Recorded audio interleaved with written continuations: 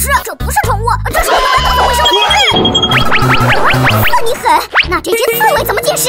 它看起来是一只刺猬，但其实却是一个无限量的牙签盒。继续狡辩！这只鹦鹉又是怎么回事？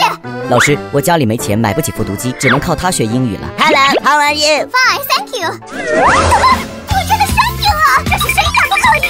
老师别怕，这只是我用来洗衣服的搓衣板而已。我真服你们了。洗衣服？老师，你看看后面。别太荒谬！